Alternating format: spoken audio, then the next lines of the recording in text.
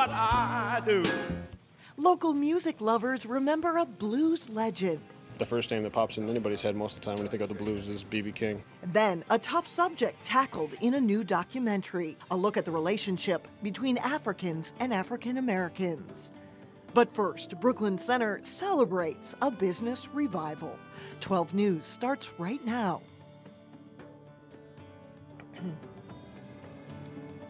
Hello, and thanks for joining us. A business revitalization is taking place in Brooklyn Center. After years of seeing stores close or relocate, city officials say that now the opposite is true. And as Delane Cleveland reports, even more businesses are on the way.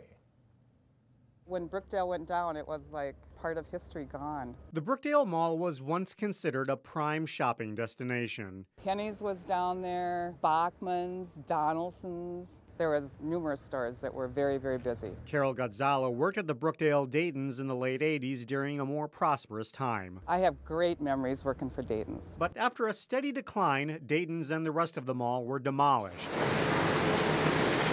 Out of Brookdale's rubble came a brand new wave of development on what is now called Shingle Creek Crossing. It's been about two years since Walmart opened to essentially become the anchor tenant of Shingle Creek Crossing, and in that time span, plenty of other businesses have followed suit. That's what brought Carol back to Brooklyn Center today. I came out here to visit TJ Maxx. I'm a TJ Maxx Stanista. TJ Maxx celebrated its grand opening Thursday night, and right next door, And so this weekend is really, really big for graduations. Michael's Arts and Crafts also opened its brand new store after relocating from Crystal. This was an up and coming area. Um, it's right on Highway 100. It's a good location. And as you can see, it's grown a lot here, and Michael's was happy to jump in and be part of the new community.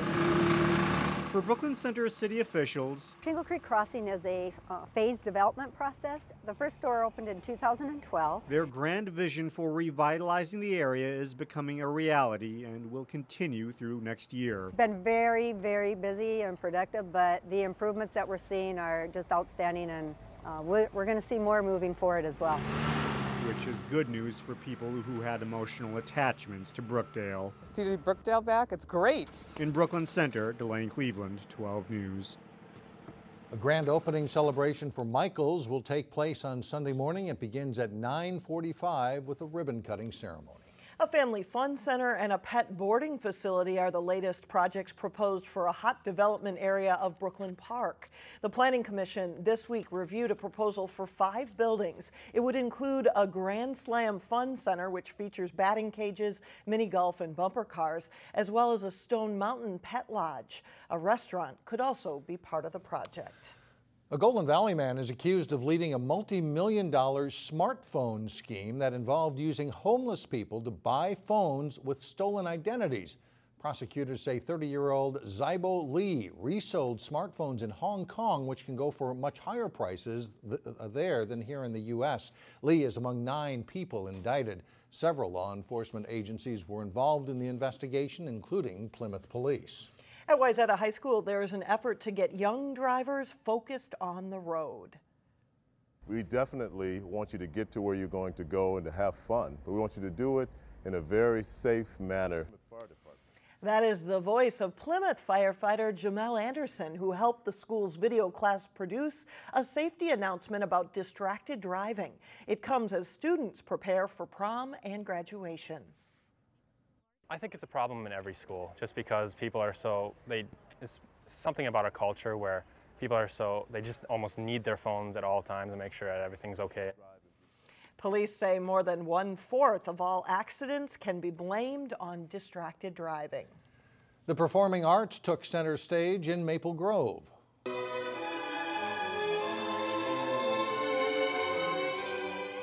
That's the North Ballet at the Pop of Color Arts Gala. The performance was part of a fundraiser for the Maple Grove Arts Center. Right now, the Arts Center uses a small donated space along Main Street, but it's beginning the push for a fine arts and performance center.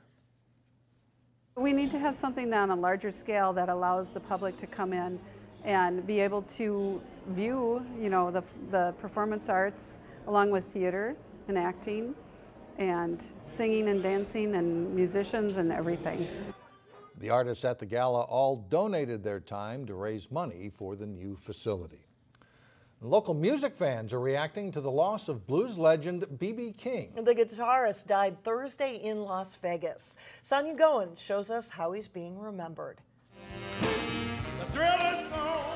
The thrill is gone, but B.B. King's legacy will forever live on in the hearts of musicians and fans who loved his music. It's another icon gone.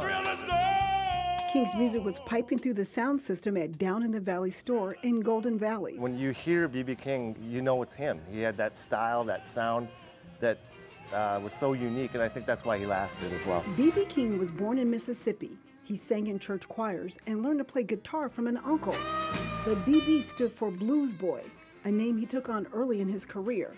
His masterful style of playing crossed over ethnic and racial lines. I grew up on blues musicians, and of course, when you the first name that pops in anybody's head most of the time when you think of the blues is B.B. King. King's voice was just as famous as his beloved guitar, Lucille. He owned quite a number of them and named them all Lucille. This is not a genuine Lucille, but it's pretty close. BB actually played a model called the Gibson ES355, and this lacks one knob that his Lucille's would have had.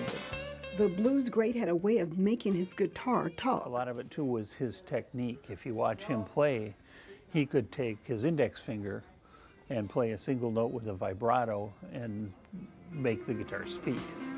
King once said he wanted to connect his guitar to human emotions. I think many would agree he did that. He was so incredibly express, expressive and still minimal. Um, he could turn a phrase into a feeling. He wasn't a very, you know, complicated guitar player. It was just there was a lot of soul and a lot of power in the little notes that he played, and that's what I loved about him the most. Sweet 16. In Golden Valley, Sonia Goins, 12 News. When I first met you, babe. B.B. King was 89 years old. Coming up, a Brooklyn Park production company's new film on a topic seldom discussed how Africans and African Americans view each other. Then later in sports, hear from the new boys basketball coach at Park Center High School. But first, an unsettled forecast. The chance for storms increased late Saturday and then again on Sunday.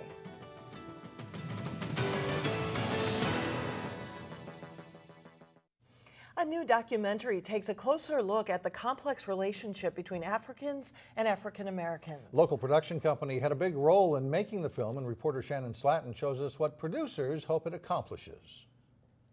A long time ago, in the land of warm waters. A new documentary hopes to shed light on a tension that exists between Africans and African Americans. I was called African booty scratcher I don't know how many times. I'm not even sure what an African booty scratcher is. I don't know if it's a stick you scratch your back with. I have no idea. The film is called Bound Africans versus African Americans. When I came to the United States, it really was important to me to connect with African Americans, but then uh, arriving and getting that phrase, you people sold us, was in direct conflict with what I thought I was going to receive. Producer Peres Owino used her own experiences to begin writing the film. It just started off really, really small. You know, we had no idea how big it was going to get. But we did understand that this was a conversation that people were having in private. The idea caught the attention of Hollywood actor Isaiah Washington, who linked Peres up with a production company in Brooklyn Park, a company that had already tackled the subject in a 2013 film called Boys Cry.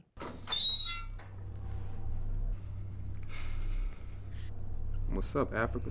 We need to start speaking about it. We're not going to solve any problem, but we are going to raise the dialogue and saying that these are things that are going on in our community. How do we fix that? Bound has gained traction and accolades in film festivals, and producers hope it's a starting point for many conversations. It's telling me that this is a conversation that people want to have, and not just Africans and African Americans, but humanity is trying to bridge, is trying to build these bridges.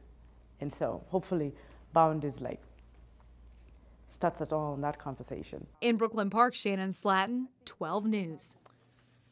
You can attend a screening and discussion this Saturday at the Cedar Cultural Center in Minneapolis. The event starts at 7 p.m. Well, coming up, we have the scoop on local theater performances around town this weekend. But first, more on the grand reopening of Brooklyn Park's Edinburgh Golf Course. John Jacobson is in next.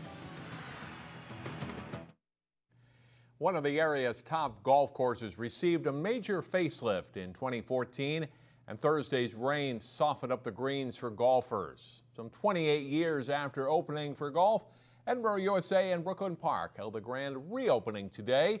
Nearly $2 million in renovations have been done here, changing and taking out some bunkers and redoing some of the greens. The goal was to make the course a little more playable and more forgiving to the weekend golfer. The Robert Trent Jones II design course first opened in 1987. A new head boys basketball coach has been named at Park Center High School. Former Hopkins assistant James Ware is the Pirates' new leader. Ware is getting to know some prospective players at open gyms at Park Center.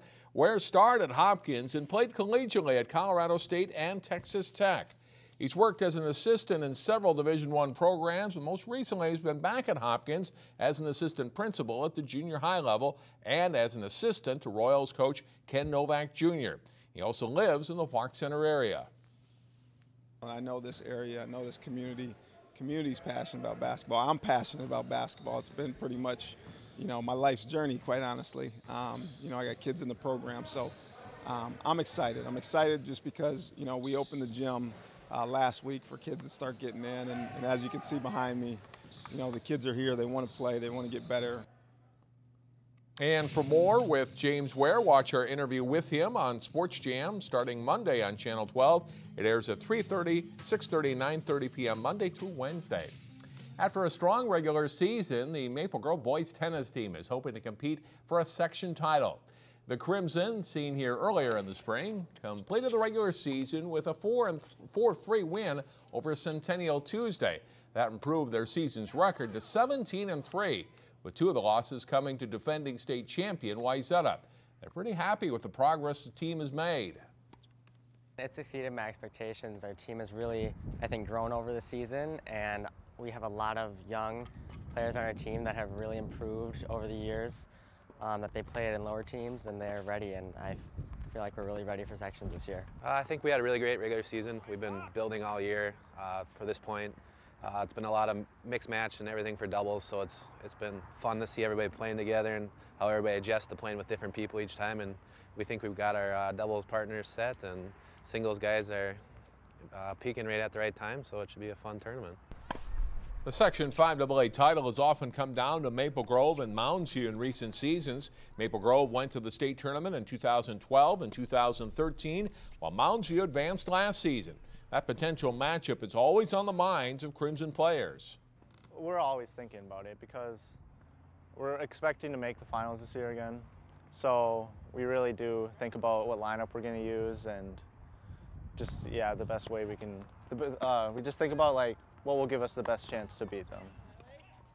The Crimson is hosting Anoka in the Section 5AA quarterfinals Friday afternoon. A win would put them into the semifinals Saturday. There's a unique baseball team taking the field this spring. Over a dozen Armstrong and Cooper students and ball players are getting a chance to play outside of the regular high school teams. The boys of summer couldn't wait. 15 players, most of them Armstrong and Cooper High School students, got an early start to the summer traveling baseball season. These are all kids that either got cut from either Cooper or Armstrong or um, didn't go out for one reason or another. But most of these kids have played baseball all their lives, and uh, some of them are just summer baseball players. All of the players on this team have played ball growing up together in the Armstrong Cooper Youth Baseball Association.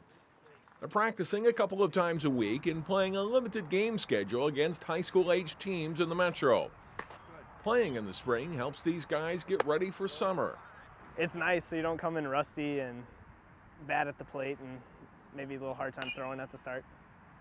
Playing better people than us or like similar to our skill level helps us get better. So. Uh, it's been a good experience. The team started after uh, high school tryouts. A couple of us got cut. Some of us didn't want to come try out and uh, just come play baseball. There's no other option other than high school. So these kids would have been sitting around for the last two months. Instead, they've been playing now. We've been practicing. So they've gotten a lot of you know opportunity to stay sharp, and they will be on pace with all the kids that have been playing you know spring baseball in their high school team. So these kids are right there. The season for the ACYBA Indians and Saturday. Player evaluations for the summer traveling season in Robbinsdale are scheduled for Sunday. So So one season right into the next. That's Already. Right. Thanks, John. We'll be right back.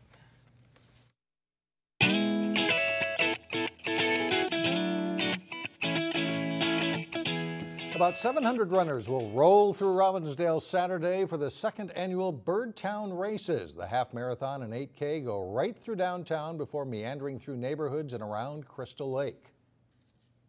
It brings everyone out, whether if you don't want to run, you can walk. If you don't want to walk or run, you can volunteer. If you don't want to volunteer, you can cheer. Um, the routes are in residential areas, so really trying to get the community out and get involved. The money raised from the event goes to the Heart of Robbinsdale Foundation. There are a couple of opportunities to take in local theater this weekend. Neil Persley gives us a front row preview in Weekend Showcase. Once in a house on Egypt Street. There are a couple of good bets if you're looking for a little theater this weekend, based on the children's book by Kate DiCamillo. The Miraculous Journey of Edward Tulane winds down this weekend at Stages Theater. This is an interesting tale about a China doll rabbit and his journey through life as seen through his eyes. Nathan Rowan voices the thoughts of the little toy rabbit. At the beginning, uh, he's he's very much full of himself, like he's very pretentious and just uh, thinks he's the best thing ever. In each stage of the adventure, Edward grows in maturity. He slowly transitions from selfishness to selflessness. He gets thrown into the ocean, into a garbage dump, uh, dragged around by a dog, and uh, taken around the country by some hobos. And I watched it captivate a room full of six to 12 year olds for the whole performance. Words, Over at Park Center High School, Front Porch Musical Theater is presenting the classic Fiddler on the Roof. This timeless play tackles the universal struggle of cherished cultural tradition versus culturally eroding modernism. It tells the story of the Jewish people in Russia just after the turn of the century in the 1900s. These were the waning years of the last czar in Russia and marked terrible persecution of Jews in what is now Ukraine and Belarus. There are many moments that are joyful and big dances, big numbers, lots of great costumes. You'll hear classic songs like Sunrise, Sunset, If I Were a Rich Man, and Tradition. The biggest reason I love this show is that at the end we have hope. And I hope you'll get out and see Fiddler on the Roof Jr. for a weekend showcase. I'm Neil Persley, 12 News. Both shows are running through Sunday. We will have more information on our website at 12.tv. Love that one. That's a lot of fun. it is isn't a lot of Yeah. fun. that does it for us. Thanks for joining us. Have a great weekend, everyone. See you Monday.